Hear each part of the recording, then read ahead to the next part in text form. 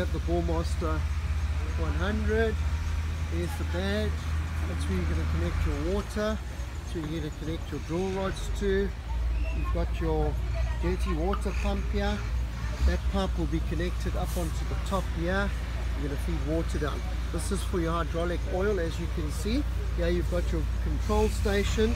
You're going to do your rotations and your ups and downs on there.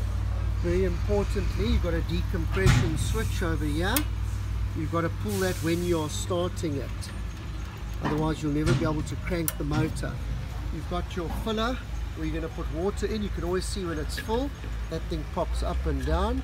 You can see it's good to put summer coolant in there as well so that the water doesn't over Obviously the silver lid next to it is where you put in your diesel. On the side you'll see there's uh, your air cleaner, make sure that's tight. You've got your exhaust over there. Walking around here. It has got the electric start option, although most people don't use it. So you can see it, yeah, very important. That's where you're going to put your diesel engine oil, not normal car engine oil. Okay, so you can check, this is the motor. Make sure that the diesel fuel is on. Okay, and then normally when I start it, I adjust this down to about there. And then I lock it. It actually says start over there, but I actually started higher. I'm going to hand this over to Fozia so she can carry on videoing. You basically just go like that. Gears moved out of the way so she doesn't get smoked, although she smokes. I don't know why she doesn't like this smoke. Decompression switch is locked out of the way. We'll do that again.